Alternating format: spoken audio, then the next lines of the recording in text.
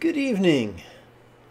This evening we can enjoy an excerpt from Yongjia Xuanjue's Song of Enlightenment, and then we can meditate. This is Lama Jigme Gyatso of the Buddha Joy Meditation School. Welcome to Meditate Like a Jedi which is brought to you by the good hearted folks who help support this channel on Patreon. This evening, we could chant and meditate and enjoy a lesson or two, but first, if you love Star Wars and you wish to meditate as profoundly as Qui Gon Jinn on Naboo, be sure to subscribe and ring that notification bell. Good news. If at any time during this evening's live stream you have a specific question about Buddhist meditation or Buddhist philosophy or how to apply apply them to your life. Simply type your question in great detail in the chat window on the right hand side of the screen.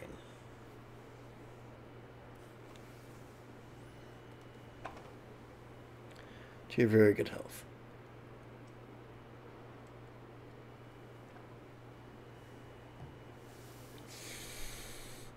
I apologize if I have a boo boo face. My sinuses are dancing the Watusi.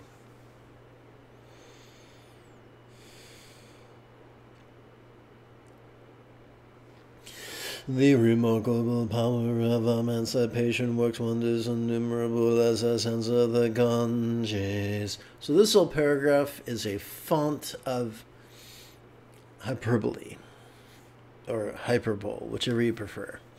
And um, so this phrase right here, innumerable as the sounds of the Ganges, that is an oft used trope in uh, Mahayana Buddhism.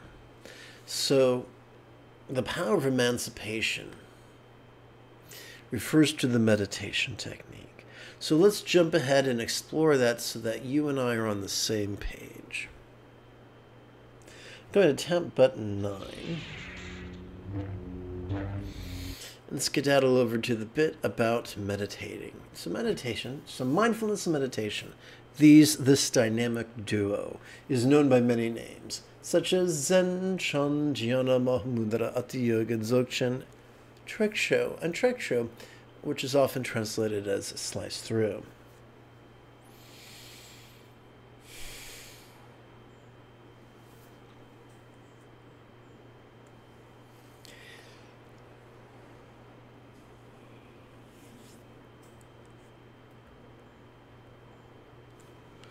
Excuse me, despite the grandiosity of the names, the technique is fairly simple. Physically, merely emulate this statue of the Buddha.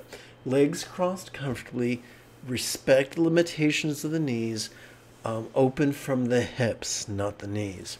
Hands folded naturally in the lap, with the edge of each palm resting comfortably against the lower abdomen. Shoulders not too far forward, not too far back, head uh, spine in traction as the head pulls away from the pelvis. A gentle smile, gentle Mona Lisa smile, can play upon the corners of the mouth, the apples of the cheeks, and the crow's feet of the eyes. Let's turn our attention, well, actually, when it, when it comes to breathing, let's keep our inhalation shorter and sharper and our exhalation longer and softer. Now let's talk about the mind. Number one, mindfulness. During each inhalation, we silently and mentally recite the demonstrative pronoun this.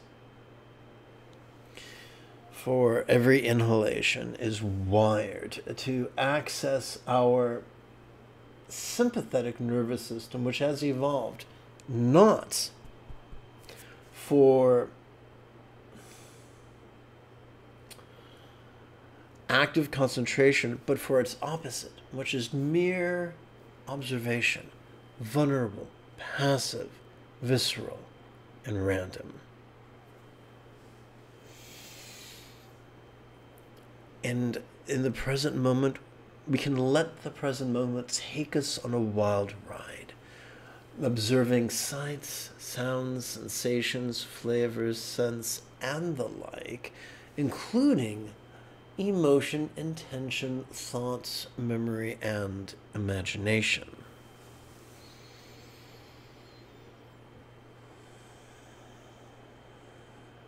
Now let's turn our attention to meditation.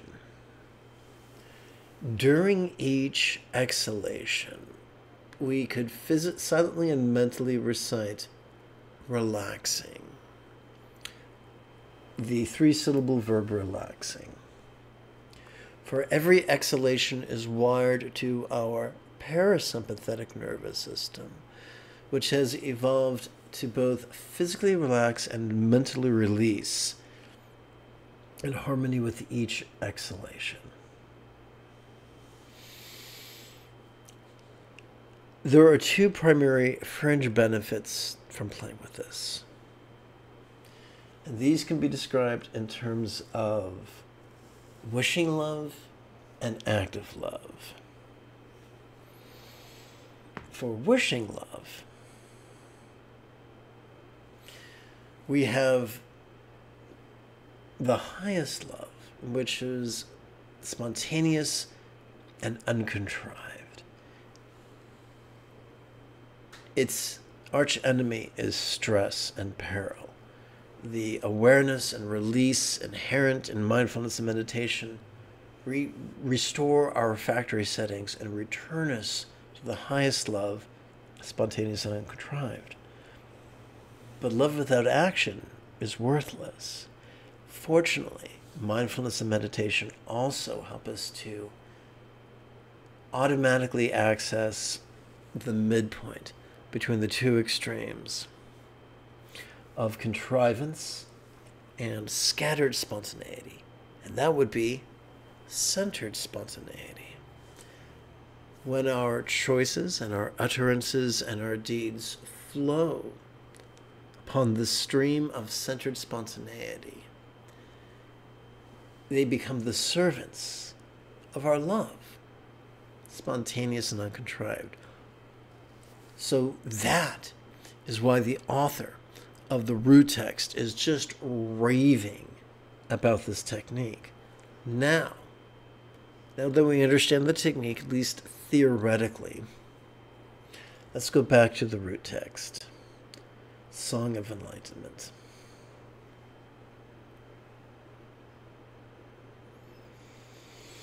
The remarkable power of emancipation works wonders innumerable as the sands of the Ganges. So, arguably, inhalation could be called observation, and exhalation could be called emancipation.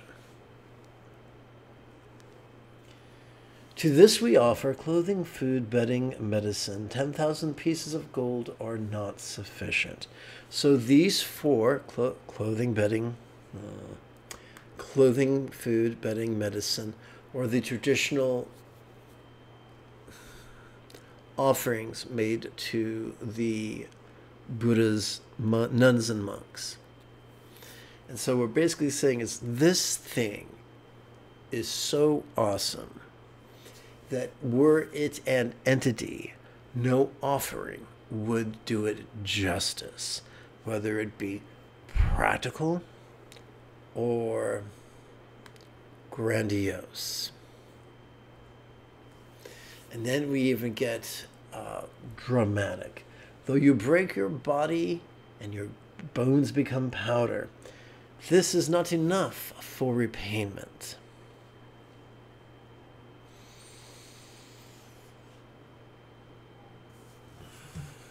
the best offering we can give our teacher of flesh, blood, and bone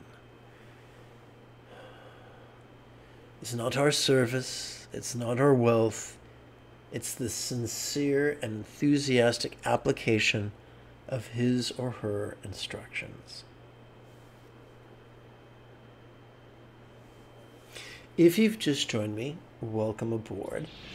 If at any point during this evening's live stream you have a specific question about Buddhist meditation or Buddhist philosophy, or how to apply them to your life, simply type that question in great detail in the chat window on the right hand side of the screen. Go to a restaurant, order something, and you'll get, in addition to the main course, you'll wind up with an hors d'oeuvre and a dessert. Both are hors d'oeuvre and our dessert, or very brief chants.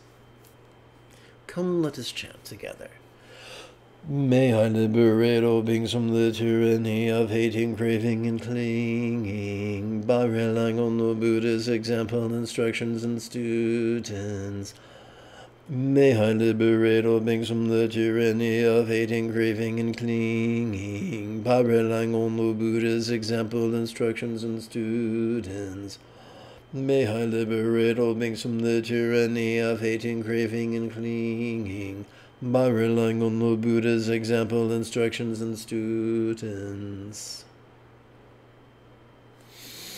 So, hopefully, you're here for my explanation of the meditation technique that I gave a few minutes ago. If you're not, let me know and I'll gladly repeat it.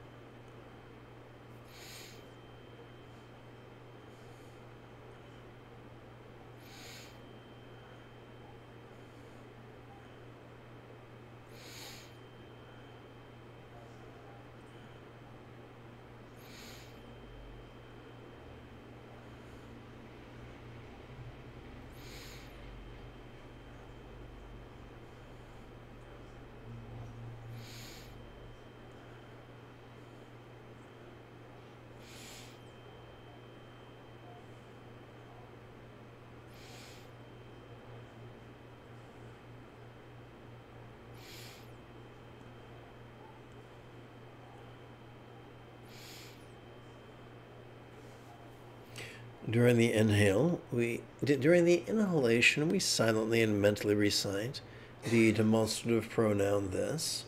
During the exhalation, we silently and mentally recite the three-syllable verb relaxing.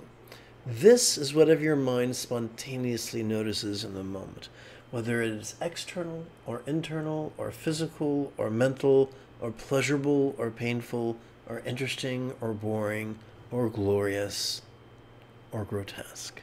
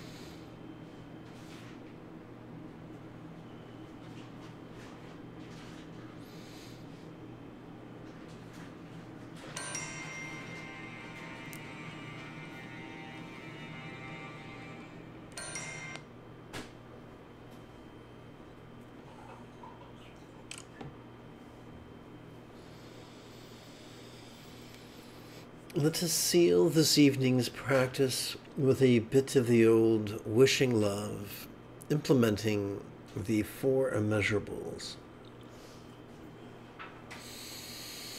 May everyone be free from misery, may everyone be happy. May no one be separated from the happiness. May everyone have balance from the tyranny of hating, craving, and clinging freed.